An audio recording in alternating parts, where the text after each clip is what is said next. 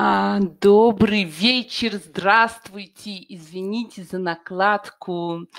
Совершенно случайно, совершенно случайно у меня была настроена а, прямая трансляция из другого места, поэтому я приношу свое извинение, что я начала урок э, не там и не так.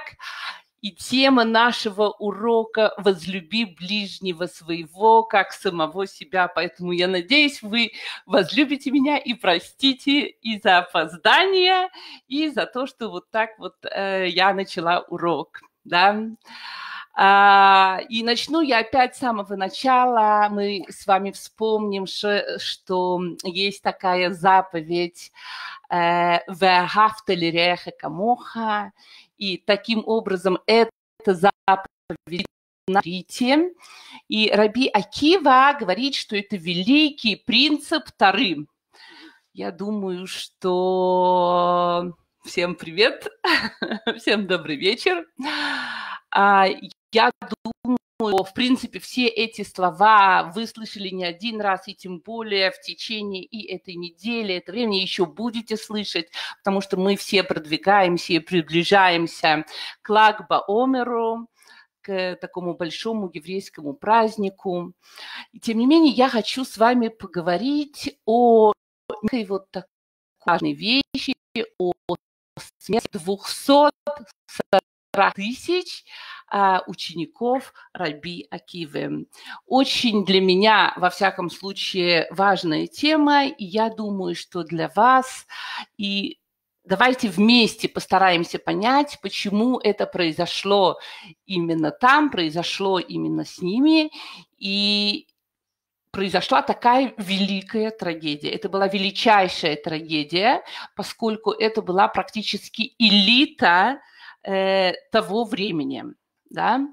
Вот в наше время сейчас мы начинаем потихонечку, лят, лят, выходить из мирового бедствия. На самом деле не только мы, не только евреи в Израиле, потому что тогда речь шла только о евреях, только в Израиле, учениках Раби.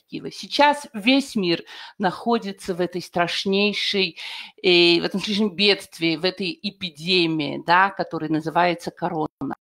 Менее это дает нам некую возможность понять, становится для нас ближе вся эта проблема, а, которая прошла 1900 лет тому назад, да, то, что сейчас происходит, это некое повторение в каком-то смысле того, что было тогда. Тот, кто действительно находился в эпицентре эпидемии, мы говорим с вами про города Бнебрак, видели в Иерусалиме, где было больше всего больных, да, он более четко может понять, как это было тогда. Знаете, в 770, казалось бы, нам самым для хабатников, для нас, одно из самых важных мест, э, святых, э, люди, которые являлись тоже элитой общества, люди, на которых держалась синагога, община, которые помогали абсолютно все, вдруг они начали после Пурима, сейчас тут вот в Кронхайце, буквально один за другим умирать. И в каждом соседнем доме происходит просто жуткое, страшное бедствие. И хотя мы живем далеко, но мы каждый день читали э, в интернете, по WhatsApp, все эти сообщения, и боль совершенно э, невероятная.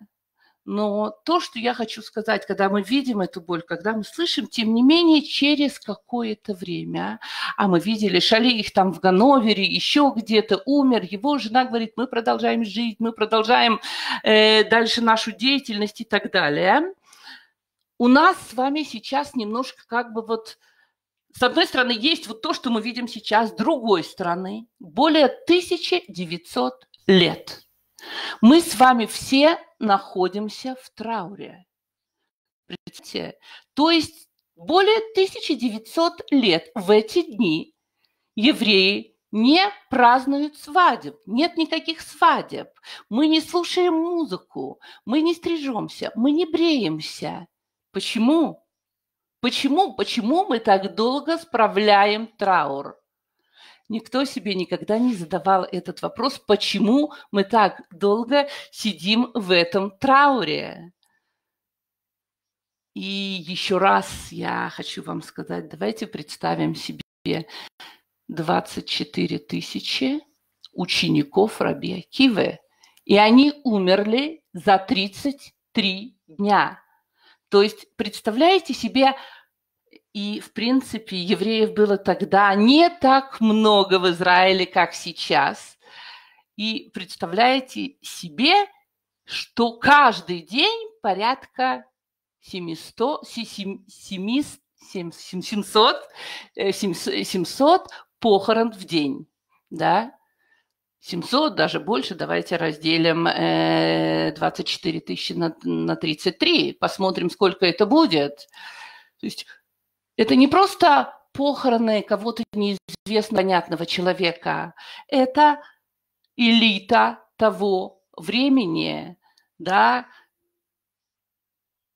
потрясающие, удивительные, тяжелые события э, в раз, вдруг решились. Это представьте себе, как вот сейчас раз, раз, раз, раз, раз, не дай бог, не дай бог, там, скажем, не Кнессет, а не правительство, а, скажем, там что-то другое. Да, все люди, которые управляют страной, на которых держится порядок и закон, все умирают, все, вот так вот подряд, да, сказано, что осталось только пять учеников из 24 тысяч у Раби Акивы. Соответственно, вопрос, как такое могло случиться? Подумайте сами, если это эпидемия, мы все видим, что никто из нас не знает, ни один человек из нас не знает, не может догадаться, не дай бог, кто завтра заразится, как это произойдет, Э, кто не, мы не знаем, мы не понимаем, мы максимально предохраняемся по телевизору, по радио, везде объявляют, как мы должны предохраняться. У них не было тогда ни телевизора, ни радио, ничего. И тем не менее, никакой другой житель страны Израиля не зародился и не умер. Да? А Ешива, которая была не в одном городе Иерусалиме сосредоточена, а была сосредоточена в разных, э, снифы были, отделения были э, в разных городах Израиля, именно в эти места пришел э, ангел смерти, Малаха Мавет, и этих учеников он забрал. И еще один вопрос, который есть также у меня. Как Раби Акива смог э, прийти в себя от этого? Как этот человек, построив такую великую вообще империю, империю Талмидей Хахамим, смог найти в себе силы начать все сначала. Э, мы с вами, как религиозные люди, понимаем, и не только религиозные люди, но на самом деле любой мыслящий человек, он понимает, что эпидемии не возникают сами по себе, они не происходят от того, что где-то вьетнамец, китаец кто-то съел э, на рынке живую или неживую летучую мышь, да, и мы понимаем, что именно не именно от этого, и совсем от другого эм, умерло так много людей. И мы понимаем одну самую важную вещь. Эпидемия разражается, когда Всевышний недоволен. Он недоволен нами, он недоволен тем, что мы делаем, тем, как мы живем. Люди умирают, потому что они забыли, как жить. Оглянитесь вокруг себя. Скажите, вот то, что происходит, и неважно, в каком государстве вы живете, в какой точке мира, скажите, э, вот побыв дома, оторвавшись от э, каждодневной действительности, вы, вы понимаете, что что-то происходило неправильно, что что-то было не то. Причем у каждой, каждый может назвать свою причину. Кто-то скажет, так, у нас правительство так и так, а другой скажет, и у каждого оно свое правительство, да, и тоже оно так и так.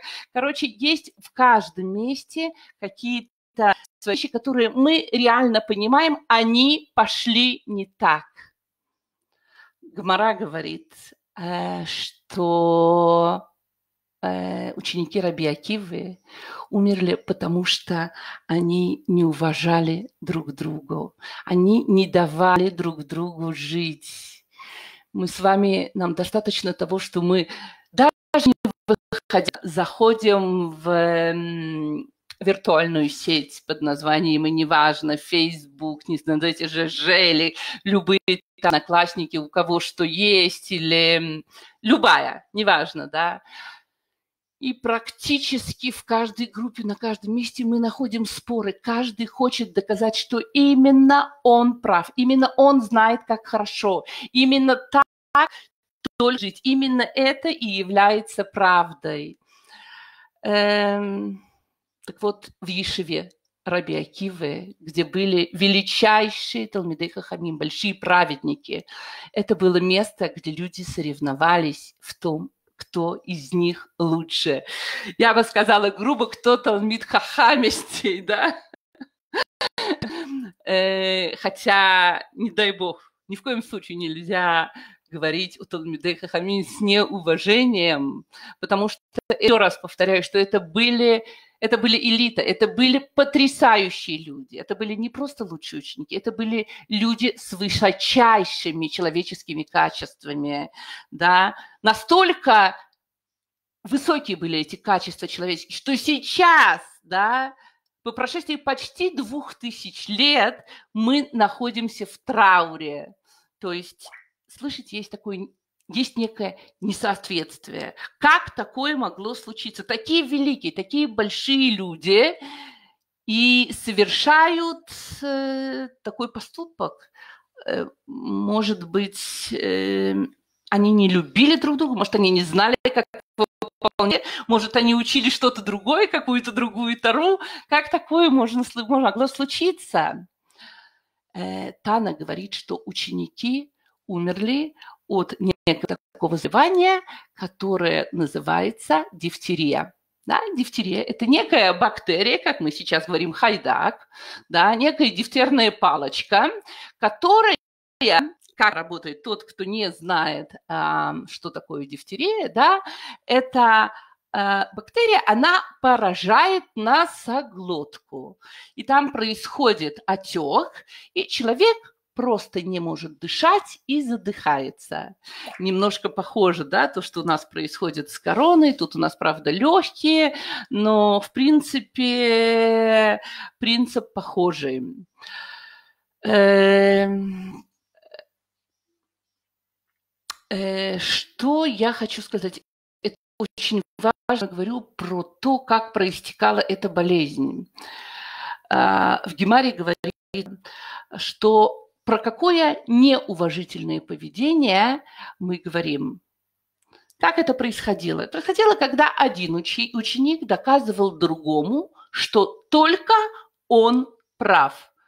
У каждого из них они были на высочайшей ступени понимания, умения и знания. На каждого из них были какие-то совершенно потрясающие хидушей Тара.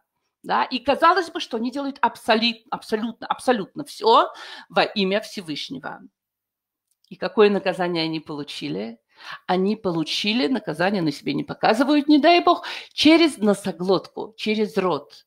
Так как из их рта, так оттуда выходили неуважительные слова, по поводу их друзей, товарищей Талмидей Хахамим. Или наоборот, очень уважительные по отношению к своему и только своему мнению. Мне очень важно еще сказать, рассказать вам про то, мы с вами сейчас находимся.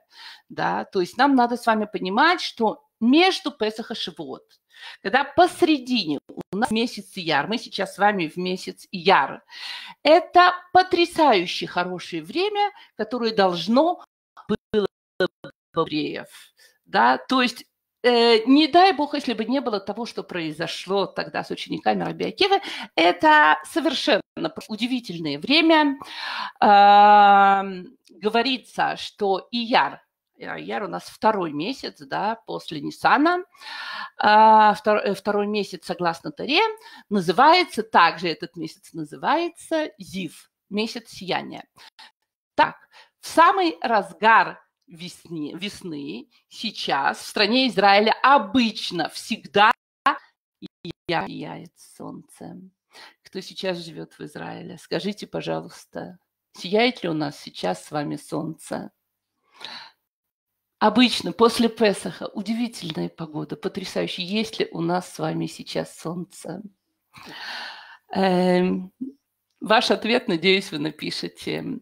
В этом месяц Ияр, да, не в этот, не сейчас, а раньше, а, начал подать ман, мана небесная. После того, как мы вышли из Египта, мы оказались в пустыне, нам надо было что-то кушать. И Всевышний дал нам от своего, от своих щедрот, да, ману небесную. Также в этом же месяце в Яре удостоились с вами колодца Мирьям, который снабжал нас водой в течение того же срока, что и ман, почти, да, того же срока. Кроме того, важно понять про этот месяц, что знак зодиака его – это телец. На иврите это бык. И именно поэтому Яшо Бенун и смог в этот месяц преодолеть Амалека. И вот Всевышний в этот благословенный месяц да, посылает эпидемию, совершенно удивительно. Это благословенное время, и тем не менее, это эпидемия, и мы с вами почти 2000 лет находимся это время в трауре. Все это делается для того, чтобы показать всему миру, не только нам, но и, конечно же, нам, мы те, кто должны научиться, что не бактерии убивает и не солнце спасает, а неуважение человека, одного человека к другому, это именно то, что убивает наш мир. Эм, ну, опять же, посмотрим вокруг. Неужели мы можем честно сказать, что вокруг нас царит любовь и уважение друг к другу? Э, конечно, каждый говорит, э, каким взглядом ты посмотришь, таким взглядом ты увидишь. Я согласна. Я согласна, да. Но, тем не менее, есть вещи, которые даже смотря хорошим взглядом, э, ты не можешь не заметить. Еще раз давайте вернемся и подумаем, неужели все вот эти большие люди, все эти великие мудрецы Тары не знали о заповеди «возлюби своего ближнего, как самого себя». А если мы подумаем, как вообще они могли это не знать, если их учитель, их раби – это раби Айкива, который был самым большим примером этих слов. Даже в наше время – любой ребенок летнего возраста учит, а есть, которые раньше, да, учим псуким и с музыкой и так далее. Э, они знают, что Амар Раби Агива, Вагафтали Реха Камоха, Зеклаль Гадоль Батора. Раби Акива говорит, то, с чего я начала, возлюби ближнего своего себя, и это великий принцип Торы. И есть заповеди из нашей Торы, э, ну, больше ста точно, да, которые стоят, именно основываются, эм, или наоборот, которые, э, одно это высказывание их перекрывает, да, э, э, что Раби Киви не просто говорил, не просто говорил эти великие, замечательные слова, а он был живым, живым примером этих слов. Э, Рабиакива был настолько великим человеком, что Муше Рабейну, когда он беседовал с Всевышним, и Всевышний его посылал когда-нибудь Муше Рабейну, как мы знаем, был даже был пророком. Так вот, он говорил Всевышнему, что есть другой человек, который достоин принести людям Тору. Да, и этот человек, это Раби Акива, прородиться в дальнейшем и так далее. Вот скажи, сделай так, чтобы этот человек тоже. На что, конечно, Всевышний ему ответил, не решай, не решай за меня, кому что делать. Есть еще одна вещь, э, про которую тоже пишут мудрецы, когда обсуждают, что же произошло с учениками э, Раби Акивы. Э, не все к, подключаются к этому понятию, не все его принимают, и я тоже стараюсь в своей жизни жить так, что я э, считаю, что эта вещь не работает, но тем не менее я должна сказать, потому что наши мудрецы про это. Есть такое понятие, как айнара, по-русски с глаз. Когда человек очень много хвастается и выставляет, что он в этом и в том такой правильный, и он такой хороший, эм, что получается? Что говорится в наших источниках про это? Про это?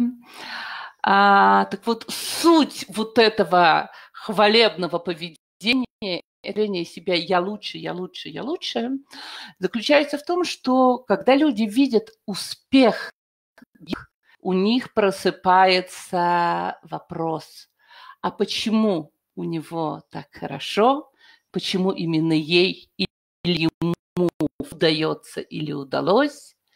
И именно этот вопрос, потому что вопрос, куда он идет, да, когда нам плохо, когда что-то, мы обращаем наш вопрос, и понятно, что наши вопросы поднимаются наверх и вызывают очень пристальное внимание на небесном суду.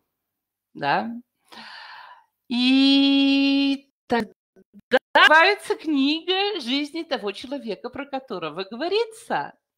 И начинают рассматривать его поступки. И зачастую может выясниться, что именно этот человек не заслуживает в полной мере того, чем он обладает. Да? И пока вот этот вопрос не туда наверх, то мера, милосмер, милосердие. Я с вами, у нас был не так давно урок про мере, мере суда и меры милосердия. Да? Так вот, мера милосердия, она дает возможность человеку получать то, что называется в кредит. Но когда приходит время разбирать дело, и встают сразу, вы знаете, два каждый выкладывает свои плохие и хорошие доводы, да, то суд все это дело разбирается по мере правосудия, по мере суда. И тогда понятно, что могут быть неприятности. Э, Рамбам вот в своей книжке, у него есть такая книга, которая называется, очень важная книга на самом это хорошо бы, в принципе, нам когда-либо начать ее учить. Книга называется «Законы сохранения жизни». Каждый должен знать, как ему сохранять жизнь. А, так вот, он пишет там достаточно строгие такие важные вещи а, о том, что а, тот, кто пренебрегает законами, данными нашими мудрецами, эм, для того, чтобы сберечь жизнь и здоровье человека, то такого человека надо наказывать. Ну, опять же, еще раз повторюсь про то, что бритвы нашего времени дали, сделали несколько постановлений, которые мы должны слушать, в частности, о том, ходить в синагогу, не ходить, как детям учиться, не учиться. Так вот, э, тут это как раз мы должны прислушаться к мнению Рамбама, как, в принципе, мы всегда должны прислушиваться к мнениям а, мудрецов и действительно таким образом сделать. А я рассказать небольшую историю про одного а, пожилого человека, которому было 95 лет. И вот как-то, не в наше время, вот как-то в Роша Шана он пришел к синагоге и сел на скамеечку. Вот приходит время молитвы, и он все сидит на скамеечке. Выходят к нему люди и говорят, что такое, почему ты сидишь э, тут, на скамеечке, заходи скорее в синагогу, мы найдем тебе тут удобное место. А он им отвечает, я лучше посижу тут. Ангелы меня забыли, лучше я им не буду напоминать о себе. То 95 лет живу себе спокойно, не надо напоминать ангелам о том, что я существую. Дай бог, не придется стоять э, на суде. А, так э, вернемся к, э, к ученикам Раби Акива, Талмидей Хахамим. А, наверное, то, что они были действительно Талмидей Хахамим на таком высоком уровне. И они были такими действительно достигшими невероятных высот. И количество э, учеников, 240 тысяч, это была самая большая ешива того времени не было больше таких ешив. Все это, видимо, вызывало большую зависть. Так что мы можем себе предположить, и так написано в, э, в Мидрашах, что это самое вызывало на них, на, э, на эту ситуацию Айн Арам да, и открыли книгу жизни на небесном суде и поступков, и увидели, что и хоть и есть у них большая любовь друг к другу и к Таре, но нет у ними уважения. Почему уважение так важно? Да, так бывает, что как бы ни хороша была любовь между людьми, но эта любовь может часто жить близких нам людей. А, очень, знаете, говорят, что любовь, она очень сильная любовь. Есть сорт любви, которая совершенно себе все подчиняет, она не дает развиваться другому отдельно от тебя. Есть такие мамы, да, которые своей любовью душат детей, есть такие жены, есть такие мужья, которые своей ревностью или недоверчивостью э, душат своих жен, да, э, захватывают вот так вот любовь, захватывающее кольцом, да, и говорится, что именно это и случилось там. Излишек вот этой была слишком сильная любовь. Опять же, о чем речь идет, да? Если он говорил э, про другого что-то, о какой любви идет речь, да? Um, а было это примерно так. Я тебя люблю, и я знаю, что моя точка зрения, она самая правильная. И именно я достиг того самого, той самой высоты Тары. И именно только так правильно, значит, и ты должен делать ровно так же. Вам что-нибудь это напоминает? Вы это где-то слышали такое? А если ты не думаешь так, как я думаю, то ты не любишь меня, да? И вот именно то, что не ученикам Раби Акивы, это уважение, дать место. И даже если ты и думаешь по-другому, да, то ты все равно должен, обязан уважать мнение другого человека. И да, дать э, какое-то какое право на ошибку другому. Да, если тебе кажется, что он не прав, ты должен дать ему уважение и дать возможность думать или делать так, как он считает правильное. Иначе э, желание, чтобы человек принял именно твою точку зрения, твое мнение, это на сегодняшний язык можно назвать неким таким психологическим подзатыльником, да, на нашем «слушай меня» более опытного и умного человека. Да? То есть если я более опытный и умный человек, значит, э, ты менее опытный, скажем так, выразимся другими словами. Да? И тут мы должны понимать, что ни одна любовь, никакая любовь в нашем мире, она не выдержит, не выживет без уважения. А, я закончу, хотя вижу, что уже время подошло к концу. Тем не менее, хочу еще рассказать один небольшой рассказ, который я слышала э, от Раф Аштиназе, э, о неком Ребе, который шел как-то в окружении своих хасидов э, утром после молитвы по улице, не знаю, 8-9 часов утра, 10, не знаю, когда он там заканчивает. И шел он по улице, где было очень много маленьких магазинчиков. И вдруг он остановился около одной маленькой и совсем незаметной дверки. И это оказался некий магазин часов. Он зашел внутрь этого небольшого помещения. В этот момент все хасиды стали удивляться, никогда такого не было. Много лет э, Раби возвращается по этой дороге, сам пошел и зашел в какой-то магазин, и тем более в магазин часов, совершенно непонятно и удивительное. Потому что если Рэби хочет что-то купить, он всегда может пригласить к себе хозяина магазина. И тот обязательно принесет ему все, что хочет, и принесет, и покажет, и покажет прямо дома, и в любое время, когда э, Раби это будет надо и удобно. И вот Раби зашел в этот магазин и говорит, что у моей жены сегодня праздник. Я хочу купить ей самые хорошие часы. Хозяин магазина Раби зашел, какой вообще великий почет, и он сразу вынимает ему и такие часы, и всякие часы, и показывает, и показывает, и то, и все.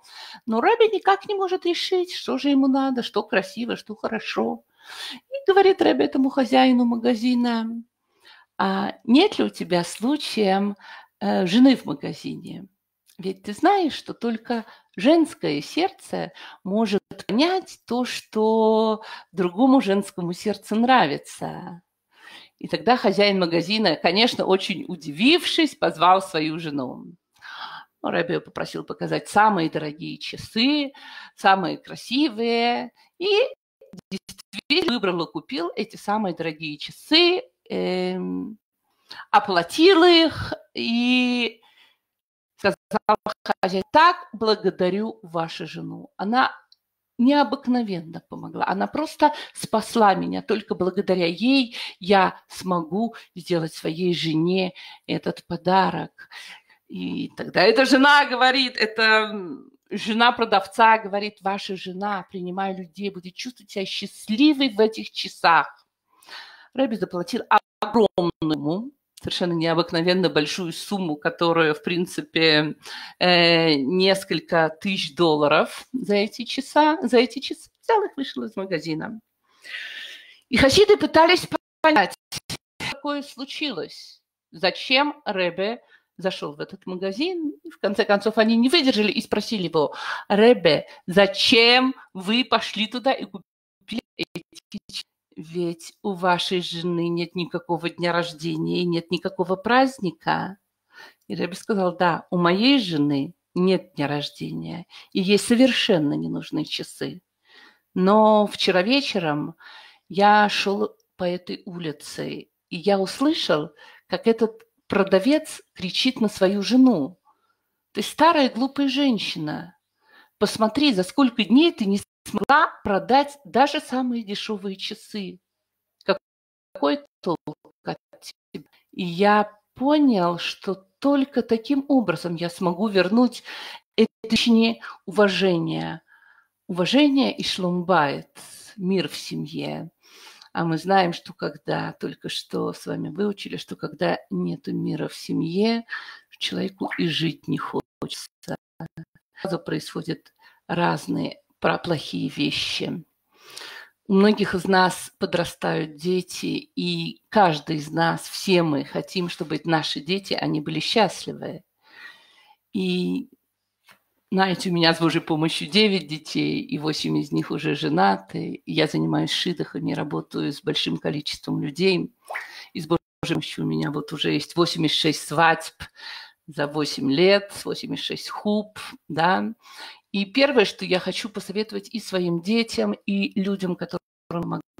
Первое, что должно, что людям надо внести в свою жизнь, это должно быть уважение. Если у вас будет уважение друг к другу, уважение между мужем и и женой, между родителями и детьми. Будет уважение, будет любовь, и все хорошее придет э, в вашу семью. И, наверное, еще важно понять, что Всевышний, Он очень любит нас. И тем не менее, Он дает каждому из нас и разную внешность, и разные возможности. И хоть мы все вместе с вами являемся одним народом, являемся одним душой, одним телом, и тем не менее нам все разное, каждому из нас. То есть папа, наш папа, он уважает каждого из нас. Это тот пример, от которого мы должны эм, Любавический Ребе а, все время говорит о том, что каждый должен сам строить свой мир, а не потому, что Рэби делает какие-то чудеса.